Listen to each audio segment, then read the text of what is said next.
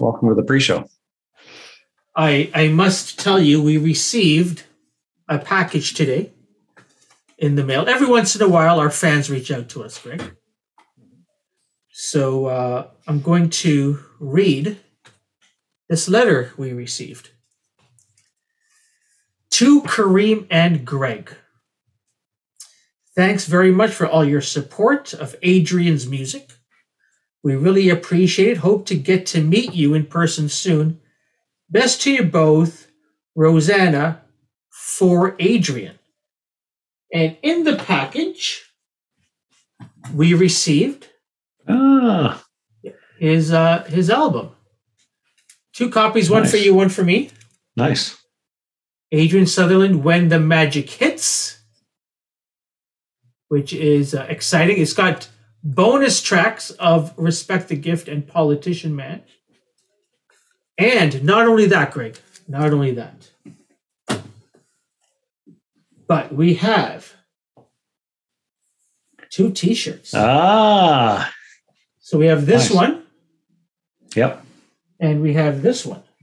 Nice. So one is uh, turquoisey blue. Yep. There's some some it feels like there's some black in there.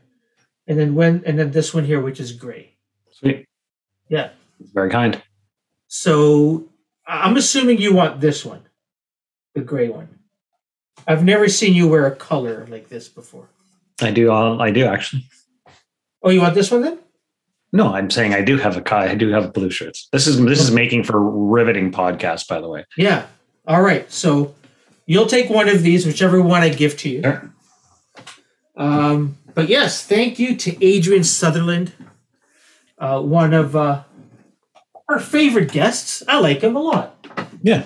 And not only that, but uh, I went on the Bandcamp and picked up Martha and the Muffins' latest release, Marthology In and Outtakes. Nice. Yeah, fun little uh their most recent uh release. Go check it out. And you can find them on Bandcamp, Martha and the Muffins. And I want to thank you, Gregg. So it looked like you wanted to say something. No, you go. Okay. I wanted to thank you for putting up a new section on our website. Uh, yes.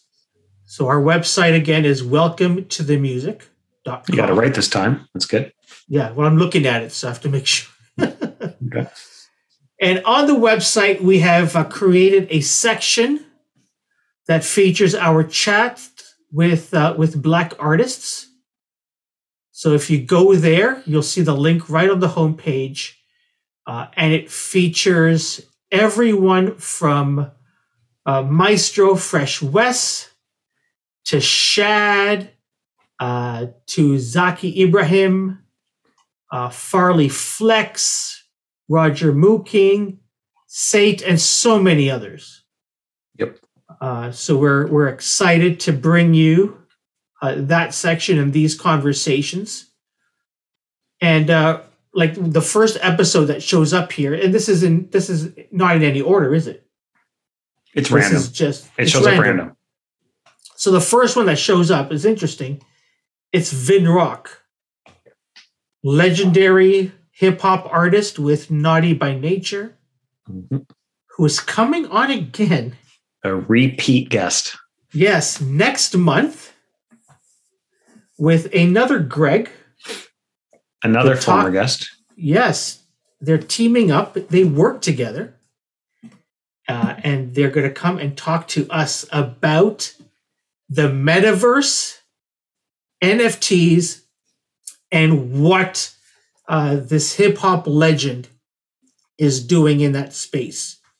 So I'm I'm really excited. Actually, I'm jacked for this conversation. Yeah, it's going to be Um, great. I'm I'm, look, I'm looking forward to it. I'm looking forward to them convincing me that this is a real thing. Yeah. And again, they'll be talking about all of this from a, a music perspective. Yeah, and I and and again, I've always stated that I do believe that that NFTs will not be what they are today. Cartoon monkeys with lasers coming out of their eyes. That's just the J- one that you JPEG. purchased. In a I, I don't think those are those aren't most of them. That's what just I the do one think, what I do think is it has huge opportunity to Mhm. help artists monetize their music Yeah. beyond what we're seeing today with the Spotify's of the world. So I am looking forward to that discussion. I do. I'm. I'm. I'm really looking forward to learning a lot in Yeah, that discussion. Awesome. And that's going to be fun. Let's get to our featured conversation with KTheChosen. Hi, the following podcast is brought to you by Radical Road Brewery, the best craft beer in the heart of Leslieville. Find them at 1177 Queen Street East.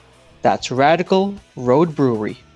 Hi, my name's KTheChosen. I'm a spoken word and hip hop artist from Zimbabwe, currently based in Calgary, and you're listening to slash watching Welcome to the Music.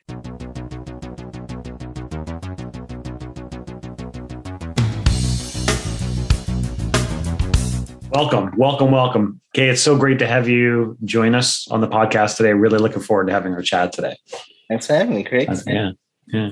So Yeah. the first question, I and I ask everybody this, Yeah. um, because my parents are from Uganda, and um, you know, it, it wasn't a choice for us to be here. Good. But you're you were recent to Canada. Yep. From Zimbabwe. Mhm. Uh, why Canada, and why Calgary? Like Good that's like cold, man. I feel Yeah. for you. Uh, yeah, that's actually a very funny story. Um, so I came to Canada for for school. Uh, I came to study business. I knew that I wanted to be involved in the music industry, but I wasn't too sure. Uh, you know, my my my like passion obviously is as an artist, but also I'm very interested in like the the consulting and like marketing side of things. So I figured, you know, just going to study business. Uh, so in terms of safety, um, price, and just uh, availability of options after graduation, Canada was the best option. Uh, the way I ended up in Calgary, though, was due to a little bit of an oversight in my research. So when I looked up Calgary, this would have been like pre 2015 because I came here in 2015, so it might have been 2013, 2014. Calgary was known as the festival capital of Canada, apparently. So I was like, oh, Really? fantastic. Apparently. So I was like, okay, cool. Music festival, capital. If I go there, there'll be lots of uh, gigs and whatnot. I didn't realize that they were referring to folk music. I found that out when I arrived. meant folk. And I was like, I have been bamboozled. uh, but you know, part of it was also that uh, it's got the most sunshine of all the cities. So coming from Zimbabwe, I'm not very familiar with ultra cold weather. For us, 15 degrees is cold. So as soon as it gets to negative, or not even negative, just zero, I'm like, oh, you know, it's cold, even single digits. Uh, so the fact that it said the most sunshine um, helped. And I've noticed that when I travel, actually, that you know, even when it is cold, at least it's a bit like you can see like everything is still pretty um, Mhm. Uh, sunny. But yeah, when it gets cold, it is it is painful. It is ridiculously painful. and, and and you've stayed here. You've stayed in Calgary, it seems. yeah, yeah. So after I graduated, I found that you know the number of people that um, the, the community I'd built here was just great. I find that um, because Calgary is still like an emerging art scene, there's a lot of uh, friendly competition. There's a lot of people who are willing to try new things because uh, there's no established sound yet. And I found that I don't know that that's it's a great incubator for someone who's new to to a space uh, because people are welcoming. Uh, there's not so much going on that you get overwhelmed, um, and also that potential to be one of the I guess originators or part of the history of the building of the scene, right? And I think that's that's pretty exciting. Nice. That's cool. So, so would you like? Again, we're talking pre-COVID, but Right. what what what did that scene look like in terms of you know venues and collaboration and recording and that was you know So to be honest, like when I just arrived, it was very, very hard to find venues, very, very hard to Mhm. find um, artists. And I think a lot of it was that uh, one, we tend to be like a, like I said, like kind of like an incubator city. So people come here, they they learn the craft, they practice, and then they get exported to Vancouver, Montreal, everywhere else but Calgary. So all of the the really like uh, experienced talent tends to leave. Okay. So trying to find smaller shows was a bit difficult because everyone was new. Um, but I'm a very independent person, so I just kept scouring until I found shows. And the scene was interesting in that because there was no one sound, you used to get like trap over here, you'd get a little bit of boom bap over there. Mm. And what I found interesting is that because majority of the people here are very into like country or rock music, you find that when it comes to hip hop, not necessarily locally, but uh, just in terms of what people are listening to, a lot of it is like golden era hip hop or old school hip hop. So it's people love um, like Wu Tang here, like like the Wu Tang following in Calgary is ridiculous. So really? like, yeah, like you wouldn't expect it, but um, you find a lot of people are really into like old school hip hop. Like anytime you go to the club, Biggie and Tupac are playing. I'm like, guys, like, I mean, obviously legends, but let's, let's get to a recent decade. So that was interesting because you know you'd play your music, which sounds a bit more new wave, uh, but then the music playing in the venue in between was a bit older. Um, I think everything has kind of caught up since then. Um, but yeah, that was kind of like the fascinating thing that I found um, in my earlier years, uh, starting off as an artist. Yeah. So there was no no desire to get into folk music. Not yet. I think you know after seeing what Lil Nas X has done with country, I'm like, you know what? Mm. Maybe he's onto something. maybe he's onto something. Yeah. And that could be the Calgary sound. There you go. There you go. Exactly. You never know. now, speaking of old school, uh, Kay, what did you think of uh, this past weekend's Super mm. Bowl mm. halftime show? That was incredible. Like I saw someone take a picture of, you know, all six or seven artists. So yeah, it was about seven of them. And they were like, this is, uh, these are the Avengers. I'm going to tell my grandkids that these were the Avengers. and you know, it's not off. It's not off. Like looking at each of theirs um, influence on hip hop, I think each artist really has had like a long lasting effect on like music today. Oh yeah, for sure. Oh yeah. For Sorry, sure. I think I cut you off there. You're about to say something. No, no, I was gonna no, I was just agreeing with you 100. percent And and and the Avengers, that's a great way to look at it. I mean, you know, I think of even the the the the the uh, the trailer, the teaser that they released, right, right. of them right. all coming together. The I think it was called the Call, if I'm not mistaken, yeah. and yeah, Dre being the chess master, and everybody gets the call and then heads towards it. It's like I, I got goosebumps because it was just like wow, and you knew it was going to be awesome. It had to have been awesome. Yeah, it was good. Yeah. Although my dad, we watched it with my parents, and my dad was just watching it. He goes, "I don't, I don't get it. I don't, mm. I don't." I said, "Dad, you're old. This is." this, this is where it's at. where it's at. But I think it's also one of those. Um, I always tell people like celebrity is relative, no matter how what level of uh, fame you're at. If someone hasn't come across um, that journey that took you to where you are, then they won't kind of uh, experience the same kind of wonderment or excitement. Mm-hmm. Um, a good example is like when um, I think it was the song that Kanye did with Paul McCartney and a lot of people were not familiar with Paul McCartney's catalog. They're like, "Oh, who's this old guy that Kanye's brought onto a song? Like he's doing great. Look at Kanye providing platforms for up and coming artists. oh, you know." Uh, so you know, no pressure on your dad. I mean, if he's never listened to um, Dre's production throughout the years, obviously, you know, you know, just the significance of him bringing all these artists through the era. Yeah, yeah, yeah, yeah. It was really good um, you know, talk, talking about that journey, your journey begins in Zimbabwe. Correct. Um, Your dad was a lawyer, mm-hmm. but you got music from him. Yeah. Like he was your info. So, how, like, how does, how does this happen? So my dad, um, I think even like in my earlier years, he was he used to DJ. So before he became a lawyer, he was DJing up to like your your university gig. Uh, so he had like a massive collection of uh, vinyl, cassette, CDs. So anytime we're going to school, anytime we're like you know going on a trip for the weekend, he was always playing music, and uh, a majority of it was hip hop or jazz. So I really got into those genres of music. Obviously, we played everything, but I think for me, jazz was just so cool. You know, you've got so much being said in just uh, instrumentals, and obviously it's mm-hmm. very easy to freestyle over jazz. So that's where the big influence comes from. Where although he was a lawyer, um, there was a lot of like music being played in the in the house, and I think from the perspective of being a lawyer, I think just you know the love for language, he loved reading. Um, so that's something that he's definitely passed on to me. as well as the fact that um, just that presence. You know, as a lawyer, there's a lot of public speaking that goes into this. So in high school, I did public speaking. I did a little bit of Toastmasters.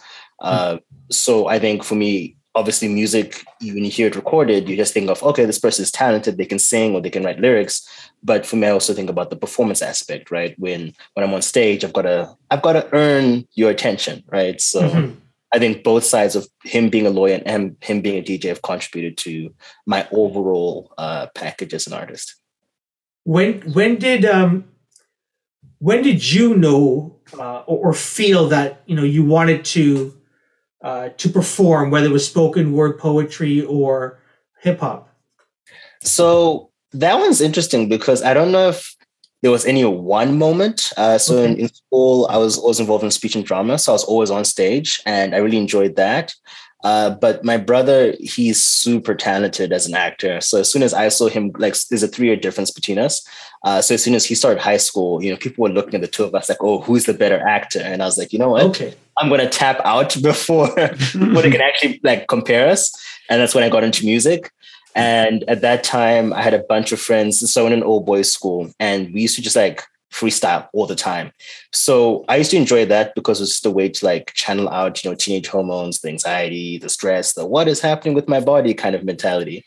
Mm-hmm. Um, so I don't know. I feel like I've always just been performing and involved in the arts, but I feel maybe the moment when I realized, oh, I could probably do this professionally was coming to Canada. I think. Oh wow! Okay. Yeah, yeah. So like I've been so technically I've been rapping for over 10 years, but I'd say professionally it's more like three or four. Uh, because before it was really just bang on lockers and freestyling and the raps weren't as good. So I think the last three or four years is where I really honed the craft. And it was just being able to upload things to Spotify and realize that, oh, actually people stream this, you know, getting feedback from people, slowly growing my social media following. Um, and then you know getting requests from um, from different organizations saying hey you know we heard the song. Do you want to come and perform? Uh, so like when i look back at it i can't exactly say okay at this moment i knew i wanted to be a performer. But mm-hmm. i can definitely see where it's starting to become more professional um, in the last couple of years. So i can see you know your, your parents are you know encouraging you. Your dad is introducing you to like uh, eminem when you're 10 years old. Yep. um, but you know they're, they're sending you to canada to further your education and i don't know become a businessman or you know yeah. something like that. Mm-hmm. and then you make that call home. Right. To say uh, mom dad I've, I've got a gig. I'm getting paid. I'm, this is this is what i want to do. What's that conversation like with lawyer dad? That was a very interesting one. Uh, so good good good good question in that um, it was a bit of uh, it had to be eased in. So I was doing open mic events throughout my degree. And anytime that I was doing great in terms of grades, no questions asked. They're like, ah, do what you want, you know? And then anytime I was like, oh, so, you know, that exam result came back and I didn't do too great, uh, it would be like, because you're always out doing open mics and whatnot. I'm just like, no, it's because I'm bad at math. But so that's that's kind of how that went. And then as soon as I graduated, I think um, they they calmed down a bit. And i think also they started to see just the traction that the music was getting. I think uh, especially in the last two years my music has become a lot more i think it's always been conscious but it's a bit more direct in what i'm speaking towards. Mm-hmm. and i remember i can't remember which song it is that i sent to my dad. And he was just a huge fan of it. He sent it to everybody. He was like really people at work. And it, yeah, it was it was like mind blowing. Not that he he wasn't supporting before, but it was a very neutral support to be like, okay, cool, do what you're doing, what you're doing, whatever. But this one song that I sent, I think it was Quarter Life Crisis. He was just like, no, this is this is this is music, my friend. This is music. He sent it to all his colleagues at, at work, and I was getting emails like, oh, you know, you're doing great. I'm like, wow, okay, this this this is acceptance. So at that point, I knew, okay, I can keep doing what I'm doing, and he's fully behind it. When was that? Sorry, what was? Uh, when when was that? Uh, quarter life crisis would have been, I want to say March of last year. So I mean, like again, like the support had been there, but this was just like overwhelming support where he was sending it to all his friends. It's like, no, this is a good song. Every once in a while, he'd send me a voice note saying, "I'm still playing your song." I'm like, wow, of all the ones that hit, cool, awesome. Awesome, that's great. Gregg, sorry, go ahead. Yeah, no, I was I was gonna say it reminded me of um, like I played as a you know teenager through high school, Right. and then when it was time to go off to university, um, I got accepted to um, into the music program at a couple of different universities, and I decided I was going to go on the road. Yeah. And my parents are both teachers. Well, all my family are teachers, right? And I like that was sort of the, expected. I would go through, get my music degree, and become a music teacher. Mhm. And uh, so, so when I had that conversation that I wasn't going to university, I was going to defer and uh, you know hit hit the road. Uh, it didn't go over well. It really didn't go over well. But I will say that that summer, I can't remember when it was, but we were playing Lee's Palace, and we played Lee's Palace numerous times. Yeah. But my dad was in town because they normally spend a lot of time up at the cottage up north. He happened to be in town. He came down to Lee's Palace to see us play. And my bud Martin, who was sitting with my dad, he said, the moment your dad started buying rounds of beer, that's when he knew it was going to be okay. So similar, like again, different story, but similar from the perspective of, you know, it was when my dad saw us on stage at Lee's Palace, that's when he's like, okay, maybe they've got something. So Yeah. anyway, I just, sorry, I wanted to share that because No, I appreciate that. I think, like, honestly, um, it's actually in a song that I, I, I made, uh, The African Fathers, and I find like, um, I don't know what it is, but sometimes father figures tend to have a tougher time showing explicit support. You know, they might support you by not saying no to what you're doing. And from the outside, that might seem like, oh, this is not really supportive. But it's like, no, I mean, if it was a no, I would have known it was a no. yeah. if I'm hearing neutral, that's that's a sign of progress, you know? yeah, yeah. Yeah. what about mom? Mom, oh, that's why I was like father figures, because mom has been a supporter since day one. If, if anything, Okay. um, I think I owe a lot of the how polished my sound is to her.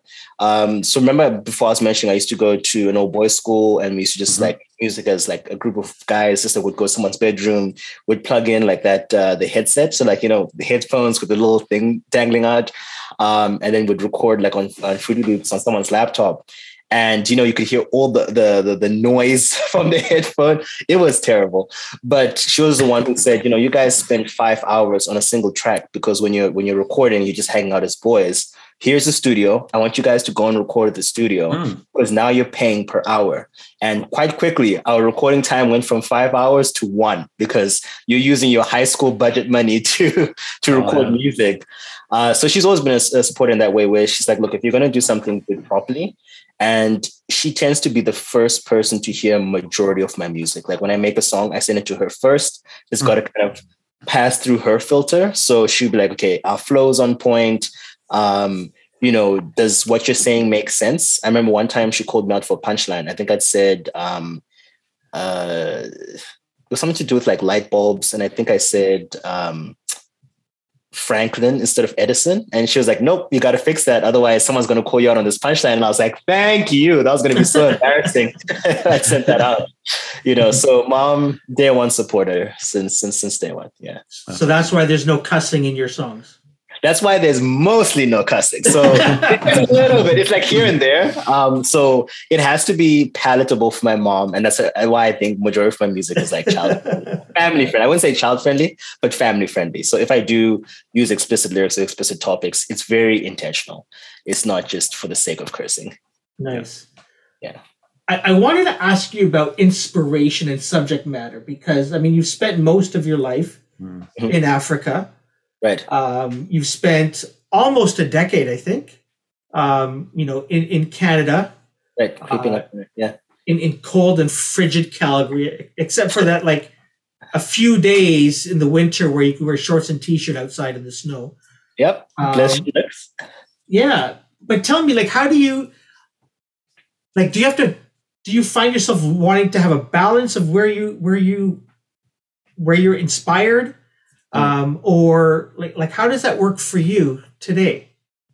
Uh, so interesting enough, I find that Calgary and uh, the the city that I'm from, Harare, uh, that's the capital city of Zimbabwe, they mirror each other in a lot of ways. So Harare and Zimbabwe as a whole are not doing great economically, uh, just due to like uh, just uh, politics and just our history in terms of how we've managed resources. But then also one of the biggest things is that um, a lot of our money comes from tourism and just you know obviously with the pandemic but also just uh, being slow slow in developing than the countries around us. You know the tourism tourism is not as high as it should be. Um, but also that we tend to export a lot of our talent and it doesn't it's not limited to, to to arts but you know all our engineers all our doctors because our resources are low tend to go to other countries where you know they've got the infrastructure that they need mm-hmm. and because they've gone to another country to learn things they end up staying there right mm. and i find in terms of the art scene calgary is the same where i think there's a lot of potential there's a lot of talented artists in the city but a lot of them tend to go outside you know to further their craft so when it came to being an artist i found that um, because of that similarity um, i was able to kind of find the weaknesses and strengths in Calgary and also the topics that need to be discussed. And mm-hmm. because so many people come in and out, I find that obviously Canada as a whole has a very diverse uh, uh, group of people because majority of us are immigrants. But specifically in Calgary, again, because it's a newer city, you're finding a lot of uh, students from around the world are here, and sometimes they end up going to other cities. But I found, oh, okay, so majority of us can relate to the immigrant experience or the diasporan experience. So I figured, you know, just write about what you know. So I kept on writing about those kinds of topics. And then obviously those end up overlapping with things that even those who are not from out of um, the country can relate to because when it comes to the immigrant experience, you can then look at things like um, mental health. You know, how does being away from home affect how you navigate your day to day? And obviously, no matter where you're from, some we all uh, experience some level of mental healthness, what mental mm-hmm. wellness um, issues, yep. uh, as well as the fact that you know you've got the concept of um, social media and how that can influence people's development, right? And I found that you know, being from Zimbabwe, our uh, or the impact that social media has in what we can and can't do is fairly large. In that, uh, when there were protests happening, you know, the government literally just switched off the internet and you couldn't access home. Oh wow! Yeah, it was it was wild. So you know, you then begin to understand the power of social media and also you know the effects can have both uh, positively and negatively. So i found even like talking about that more you know people are like yeah you know i'm from sudan and you know some of the things have happened to us or i'm from india some of the things have happened to us where the government just switches it off. But if i was purely from canada i might not understand that because you know obviously right now people can debate that oh you know the government controls a lot of things but the concept of freedom is a bit different because you can see, okay, how much can we push the government here and how much can you push the government back home? Um, so I, am not overly political when it comes to my music, but this is kind of the view that I have where I think being from Zimbabwe has allowed me to have maybe a more uh, concentrated opinion on some of these things. So when I bring it here, it might feel exaggerated, but then that's a good thing, right? Where by giving you this huge example of it, you can begin to break it down in your own context. Interesting. Fascinating. Yeah. So a lot of the inspiration is real life, honestly, or at least hearing from other people's real life experiences. I want to get your take on something, Kay. Um, mm-hmm. You know, we're recording this on February the 15th. Right. Um, obviously, in mm-hmm. Zimbabwe, there's no such thing as Black History Month. Mm-hmm, mm-hmm, um, mm-hmm. So when you come to Canada in your first February here, right. And there's black history month. What did what did that mean to you then? And mm-hmm. then i'm curious about what it means to you today. Hmm. okay. I, that's brilliant very brilliant question. So in all honesty i do not remember what my first uh, black history month would have been like um, given that it was February, chances are I was probably like, it is cold. It is cold. it is freaking cold. That's probably all I was thinking about first year. Uh, but I do know like earlier on, that was my concept. Like, like my my thinking is like, well, you know, Black History Month is such a foreign concept to me because, you know, back home, Black people are the majority, you know, so we don't need a month dedicated. Obviously, we do have other uh periods in time where we maybe celebrate like our independence because we used to be a British colony. So obviously we still do have similar uh, colonial history. Mm-hmm. But in terms of, because I mean, Black History Month is really a North American thing, right? And we're looking at, um, you know, the transatlantic slave trade and then um, you know, just that history. So to be honest, like in my earlier years, I didn't really, um, I want to say interact with the concept and what was happening around me. I'm like, okay, cool, awesome, whatever. Yeah. Uh, but as we get closer to present day, where, like I said, as an artist, a lot of times I look at immigrant issues.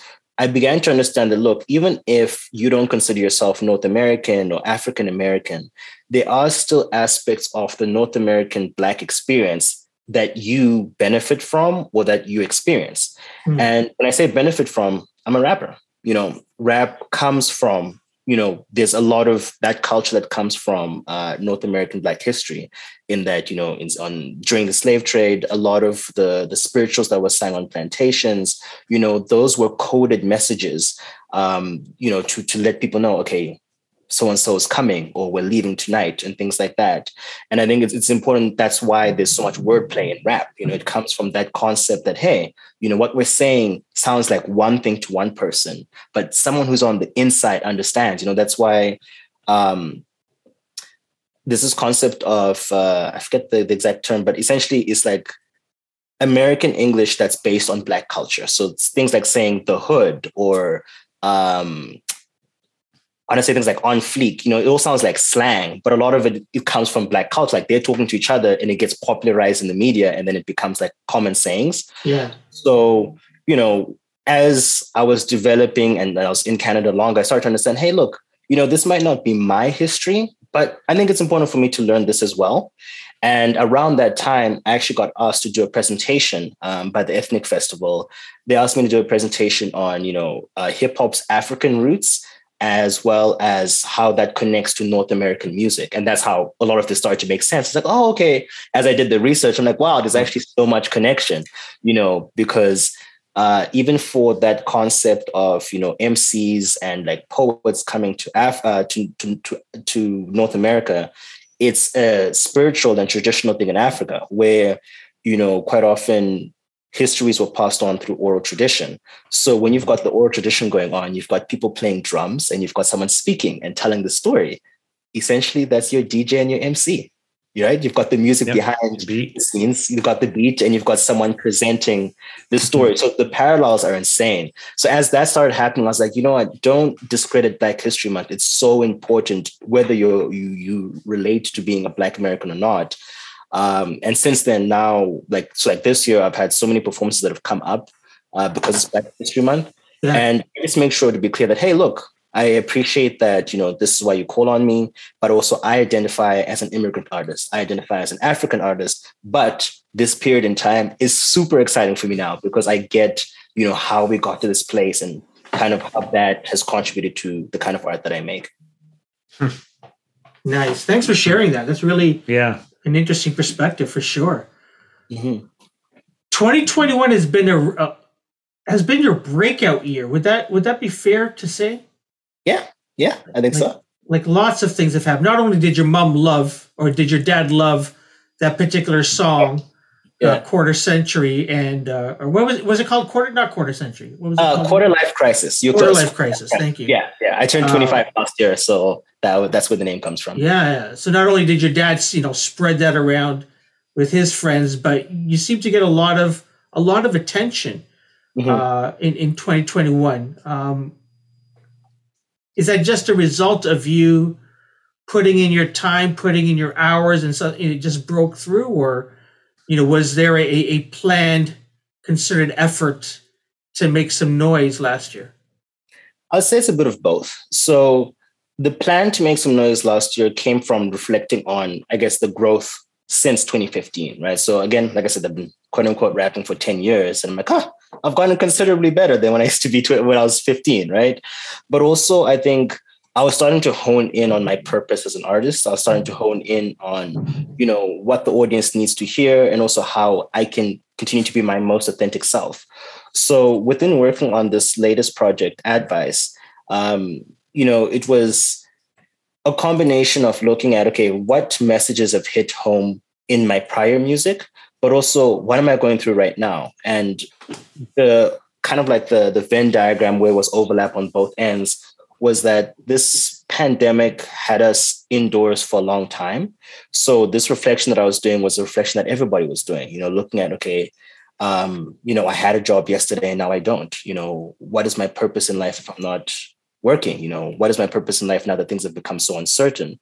And I think we also had a lot of um, people pass away over the last two years. I mean, like obviously people pass every day, but I think there were a couple of like very high profile passes. So, you know, uh, we lost Kobe, we lost Chadwick Boseman. I think this is the first time I've mm-hmm. seen like global reaction to deaths. I think we've had celebrity deaths in the past, but it's usually like a section. It's like, oh, this is specifically for people who are into basketball. But even if you are into basketball, Kobe's death, I think, just shook the world. Mm-hmm. Same with Chadwick Boseman. Mm-hmm. Even if you're not a Marvel mm-hmm. fan, you've seen him in some um, capacity. And I think even just the circumstances surrounding it that, you know, he'd been struggling with cancer for so long, but had been graceful and just pushing on, you know. So writing the album was a lot of like, okay, so what does what does grief look like to us? You know, how does this affect our mental well-being? How does being indoors affect us? And um, you know, how does this actually connect us as human beings? So as I was working on that project, you know, more things kept on happening around the world. And I felt just this inner purpose where I'm like, this album cannot be like the others where, you know, I just release it and my friends hear it and we're like, cool, good stuff. And then we move on. I felt like it was an album that more people needed to hear because I think a lot of people needed to hear that they weren't the only ones going through that. A lot of people needed to find the words for what they're expressing. And to be honest, I think that's where a lot of the push came from, where I had I would, I'd invite as many friends as I could. I'm like, hey, I'm doing a song about colonialism. I don't think it's right to talk about this without involving indigenous artists because my perspective of colonialism is from Zimbabwe. Um, obviously, the North American experience is different, you know. So they came in, they gave their perspective. Obviously, when the song came out, they shared it with their communities. Their communities like, oh my goodness, this is so. This is what we've been waiting for, and they shared it with theirs. So each song had that kind of um, genuine collaboration and genuine story behind it. Mm-hmm. And then mm-hmm. on top of that, you know, obviously I put in the extra effort to like, hey, I want to make sure that this goes as far as possible. So before I've always done my own press because I love to learn, but I'm at a point where for the weight of what I'm trying to do, I can't do this alone. You know, so I, I reached out mm-hmm. to our firm. You know, they were able to help me push the press, and I don't know. I feel like the story was selling itself because they were like, "This is great. This is community focused. You're talking about stuff to do with the pandemic, and the music itself is good." Because sometimes you've got a great story, but the music is like so-so. You know, but everything was kind of where it needed to be.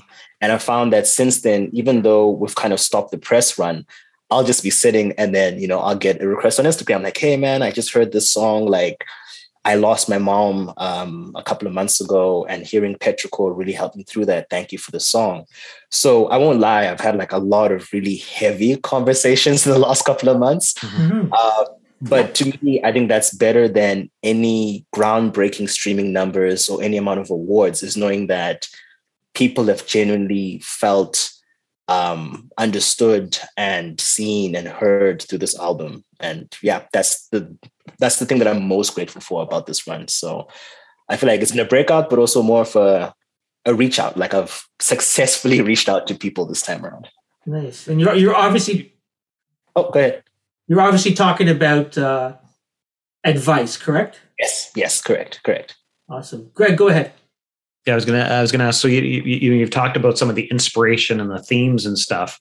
Mm-hmm. Um, particularly as we're in COVID, we don't like to dwell on COVID. We we we used to dwell on COVID at the beginning of the COVID. And now we're however many years in, yeah. seventeen years into it, I think now. um, no, but more from the perspective of like, what's what's the process? You talked about bringing in some other artists now. Like, what's the process to do this album?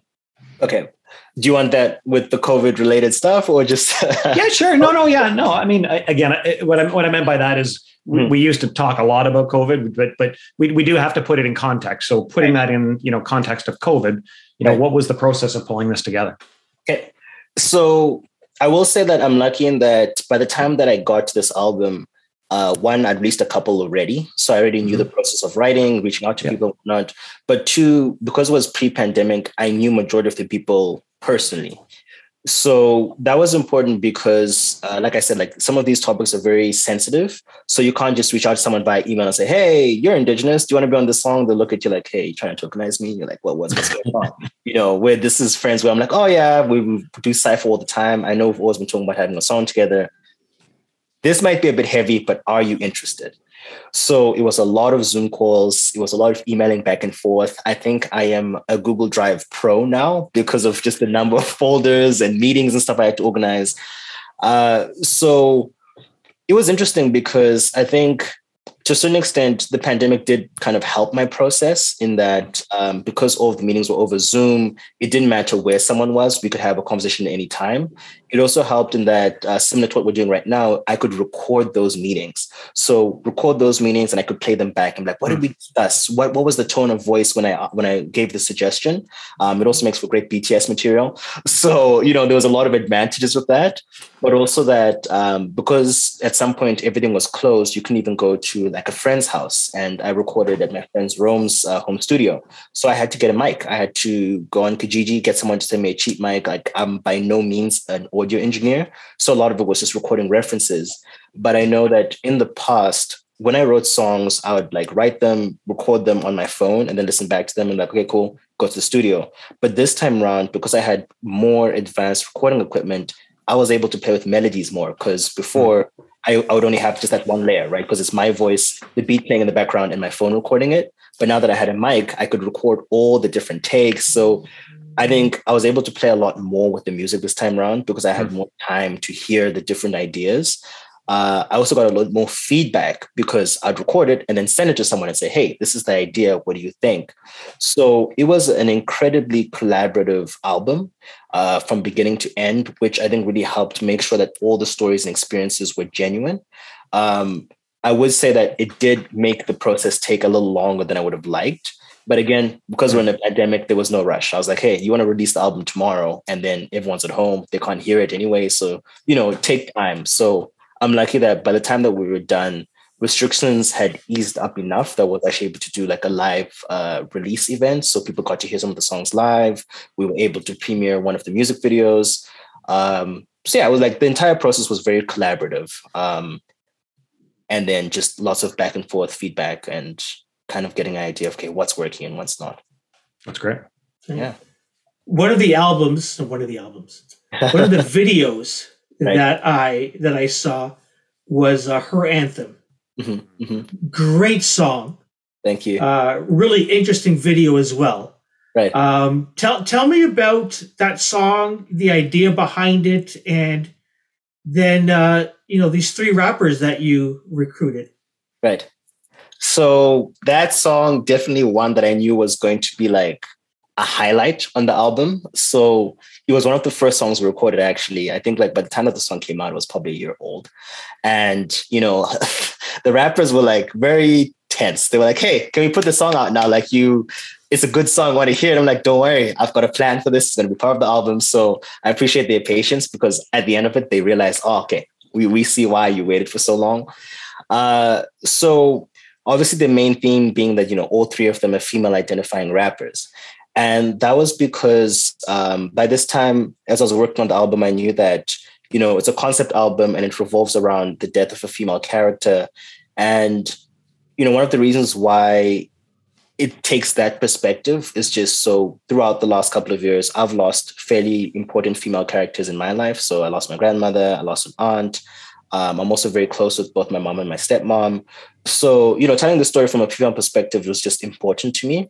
And I figured, you know what, there's no way you can have this whole narrative looking at female characters and it's being told from a male perspective. I'm like, you are waiting for someone to cancel you there. So I reached out to, you know, three very close friends. Um, Z the Free was really like the connecting factor throughout the album, to be honest, because she runs this thing called Cypher Club, where we used to meet once a week on a Wednesday evening. We play beats for three hours and we just rap. And that's how I got to know a lot of um, artists around the city, is how my freestyling got better. So I figured, you know, there's no way she can't be on the album. So once I had her, um, you know, we then brought in BVT, who was who's also uh, someone I know from Cypher. And at that point, I, I looked at the two sounds and styles that we had. I'm like, okay, cool. The perfect person to balance this is Dorsa.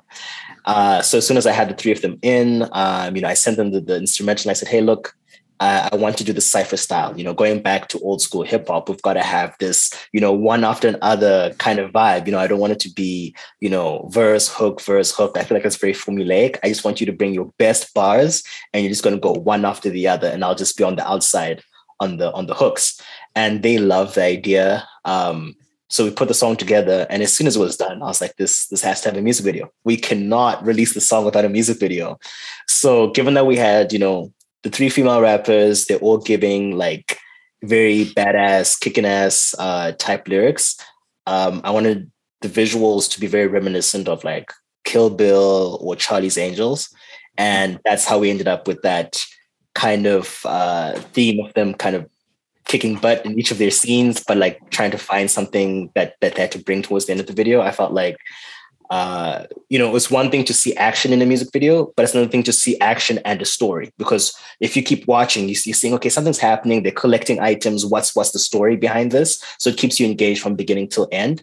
And then again, with it being a community project, we found, um, you know, we're going to need a lot of uh, uh, venues for this shoot. So we reached out to three different businesses. We said, "Hey, can we shoot in your location? If you let us do that, you know, we'll we'll advertise your business." And they were very down, especially uh, given that we're still kind of coming throughout the lockdown, right? So their businesses have been closed because it's a barbershop, a boxing ring, and, uh, the, and a cafe. You know, the cafe was open a little bit, but obviously boxing ring is a bit more closer contact, and so is a barbershop.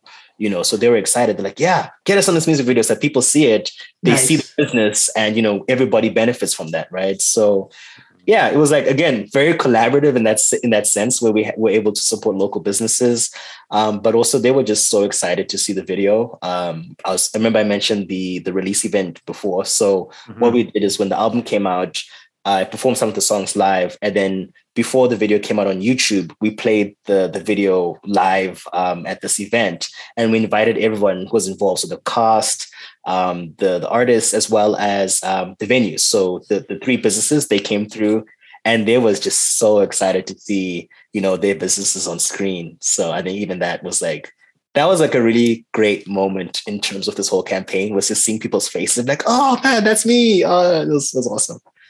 That's, that's good. Yeah. Listen, Kay, I want to ask you, we have a segment okay. called Lost Venues. Right. Um, so I'm curious, you know, whether you know here in Canada or or back home, mm-hmm. um, you know, is there a venue that you've got uh, fond memories of, mm-hmm. uh, or maybe a crazy story of uh, right. that happens to not exist anymore? Okay. So I thought about this one. Um, I want to talk about the Hi-Fi Club because the Hi-Fi Club never uh, doesn't exist anymore. But I've never performed there. I've only gone okay. there for events. So I'm going to go with a different one. But this one's not a venue itself. It's more of like a show that used to exist, and it was called Raw Voices. It was run by a friend of mine um, in university. So she's a poet, and she decided that she wanted an open mic series where you get a rapper, oh, not a rapper, a, a musician a poet, and uh, a comedian.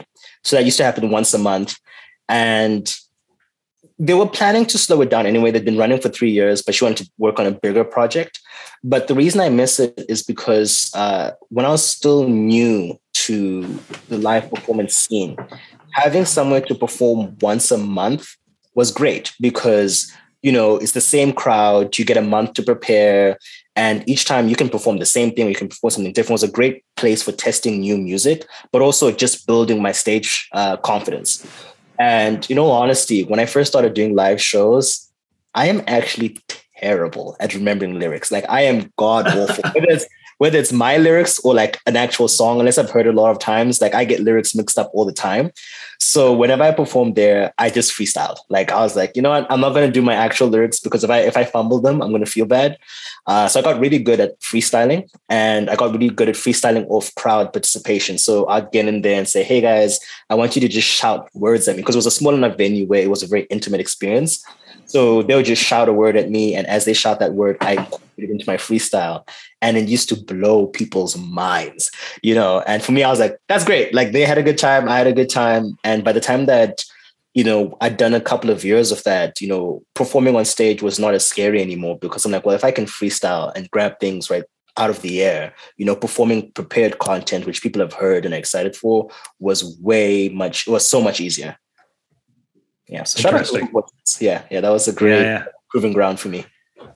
So, so you, you spoke about you know the mix of freestyling and spoken word. Um, you're also a spoken word artist, and we haven't really talked about that. Can you talk about the importance of spoken word to you and you know, and and and your body of work. For sure. So spoken word comes from the fact that um, obviously before I was a rapper, I was in school and we had uh, literature classes and English classes, and I quite enjoyed breaking down poetry. And I think it's also part of where my love for hip hop comes from, where you hear a line, you're like, wait, what does he mean? And you go and do the research, like, oh, okay, I get the bar now. You know, so I love poetry for the analysis point of it. Um, to be honest, like the line is now so blurred when it comes to like writing spoken word and writing rap for me, because if I hear a rhythm, it, it automatically becomes rap. But I think poetry has its own rhythm as well. Um, but in terms of its importance to me, I think that when it comes to slightly more serious issues where I'm really not trying to get you to dance, I really just want you to sit and listen.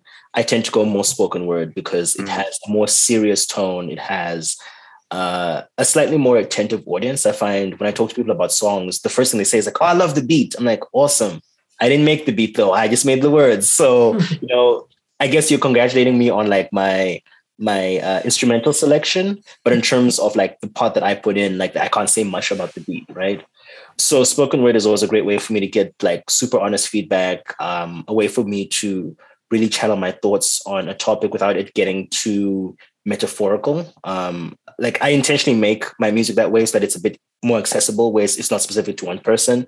But when it comes to spoken word, I do want it to kind of tackle or speak to a specific audience. Um, and then I found that because I go between rap and spoken words a lot, a couple of people have said that now my delivery and my rap sometimes doesn't even sound like I'm rapping. It sounds like I'm talking, but with a melody behind me. And they hmm. like that. They're like, that's so cool because I feel like if I just close my eyes and listen, it's like you're talking to me, but like I'm still like bopping my head as you talk to me. I'm like, oh, that's that's awesome. So that's yeah. awesome. Um, do you mind sharing with us a little spoken word? I know we've asked you to. Yeah. You're open to that? I am open. And I think was trying to decide which one to do. And I think given that uh, you know, we did mention that, you know, it's February, it's Black History Month, and I also mentioned mm-hmm. that you know, I try to make it more uh direct. I'll give you a spoken word that is looking around um, Black issues. I wrote it two years ago, might be three now. The pandemic is making it hard to remember exactly when. Uh, but it was at the, the, the height of uh, the George Floyd protests, and you know that was happening in, within like our neighbors to the south. But you know, I was reflecting on, okay, what does that mean for me being an African artist? But also, what does that mean for me being in Canada? Uh, and it just so happened that at that time there was a song uh, by Denzel Curry and Flying Lotus called Black Balloons, and they just released the instrument. I said, "Hey guys, write to this." So I ended up writing a spoken word piece to it, and yeah, it's been one where every time Black History Month comes about, I feel like I need to perform it at least once because I think it it kind of drives my feelings and emotions towards it pretty pretty directly. Uh, yeah, so I'll do Black Balloons. Black boys plotting, black balloons popping. Melon and settling, but ain't no stopping. My tribe, my life important. Bloodlines colonized and then imported. Many the troops set loose to die on front lines, but still treated as if they were foreign. Entities with no empathy, no sympathy. Things ain't changed since the days of slavery. So we, Call you massa, can't afford a bachelor's degree, stuck in streets, packing heat, selling weed, murder beef, first degree, killing all of our dreams, take our pillows and our sheets, take our pillows and our sheets. So we die in the cold, the story unfolds. Self-fulfilling prophecy, the story untold. Don't believe in ourselves, all we see are ourselves. Genetic mental imprisonment, it's all in ourselves. We're at war with ourselves crabs in a barrel mentality. They're reading the eulogy, mourning the death of Black family. No unity, it's you or me, my brother, the enemy. Way before Corona, we were all on quarantine. Keep it six feet. If you look like me, might confuse me for Trayvon Martin. Because I'm hooded and a brother in the dark skin. The hidden figures were treated just like Martians, never give us credit for success we took part in. So we out here. Hell yeah, we marching. Brothers can't breathe without brothers can't breathe in the streets. That's a problem. Sisters can't sleep without cops trying to barge in. If you can't see, then you're part of the problem. Don't protest my protest. Yeah, we marching. Oh yeah, man, we marching. Nappy hair, fists in the air, we don't care. Hell yeah, man, we marching. These balloons are not popping. Yeah. Awesome. Wow. Finger, finger snaps. Thank you. Nice. Black balloons. KTheChosen. Thank you so much for sharing. That was really good. yeah. Thank you. Thank you. I appreciate it. Wow. Yeah. Okay. Wow. Sorry, just taking that in. Just Oh yeah, taking yeah, yeah. that Like, in. it's, it's, and that's what I was saying, Rand, about the poetry. Where I think when you've got a beat behind it, like you're listening, but it doesn't quite hit. When when it's just the words, it's like whoa, okay, I'm catching every single every single thing being said. So I yeah. yeah, Yeah. Powerful. Uh, thank you. Thank you. Thank you. Um, and again, as as as a as a, a, a, a white dude, I have no idea. So I will. I, I uh, thank you. Anyway. Um, so, so one of the questions we'd like to ask, and this makes it light from the heavy, not heavy, but Yeah, from yeah.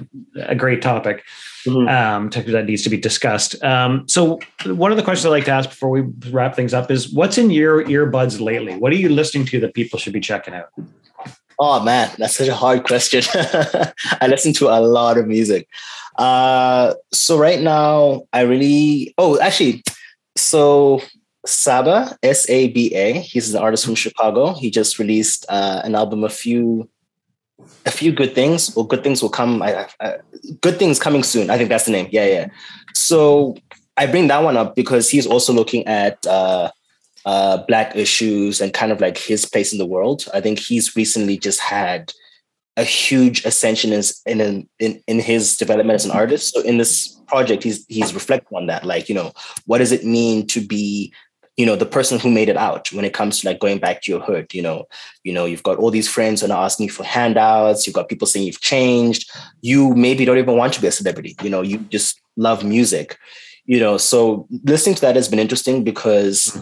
Um, I guess like was mentioned before, 2021 was a huge year for me, and I'm still seeing the effects of that. And personally, now I'm like, okay, I know the music I want to put out next, but now there's pressure. Before I used to put out music, and it's like, okay, cool, and I could just put out whatever I wanted. Now I'm like, if I put out rubbish, people are gonna call it out like this is trash, you know. So there's that pressure to like, you know, um, surpass the bar that I've set, but also remain true to myself. Um, I also just love his music. I think he's one of those rappers who goes in and out of like melodic flows and like strict rap verses so well. Um, and it's something that I'm working on on myself. Um, yeah, there's a couple of other artists I'm listening to, but I think that's my best answer right now because that that's very recent. It just came out. Uh, there's a lot of songs that I like from it, and his style has also just changed a lot from the last couple of projects he put out. And I think I don't know. He's one of those people where I think he should be way bigger than he is. Like he's pretty big, but I'm like, nah, like he's amazing. So if I can put people onto Saba, then I'll do that. Yeah. All right. That's awesome. Thanks. I think I think we actually had a, I can't remember who it was, but a guest in the last month or so mentioned Saba as well. So Yeah. that's yeah. that's fascinating. Thank you. Thanks for sharing that. No, you're welcome. I wonder if it was Shad who who told us to check out Saba. I'm trying to think of Shad or was it Mooking? Was it Rod? I don't know. Roger Mook- Yeah, I don't know. Anyway, I can't recall, but you're right. That that name does sound familiar of, of someone mentioning Saba for sure.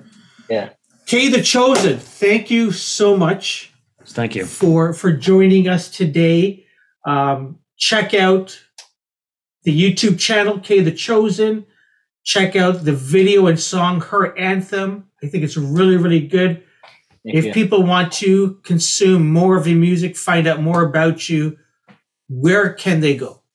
So I always direct people to Instagram. It's the platform that I'm most active on. And I think it's the platform that gets like all my traffic goes to Instagram, you know. So YouTube will only get the visuals, TikTok will only get the funny stuff. Uh, Instagram gets every like I do some nonsense things on TikTok. Uh, but thankfully everything is under the same name. So just KTheChosen as one word. Um, if you are looking for music, uh, same name, but streaming platforms were not a fan of a sentence being one word. So it's K space the space chosen um, on everywhere, Spotify, Apple Music, and all that. But come through my Instagram. My Instagram is funny. Um, it's also got a lot of serious stuff, and also I tend to interact with people quite often. So if they respond to a story or if they DM me, um, this is actually how a lot of the conversations around mental wellness were, were coming through, where someone would send me a message and say, "Hey, thanks for the song. Um, it really helped me through ABC." I tend to respond. So hit me up on Awesome. Instagram. There you Yeah, go. Instagram.com slash KTheChosen. Again, Exactly. thank you so much. This has been fun. No, it's been my pleasure. Thank you both for having me. Great conversation. And it's been a pleasure to meet you both.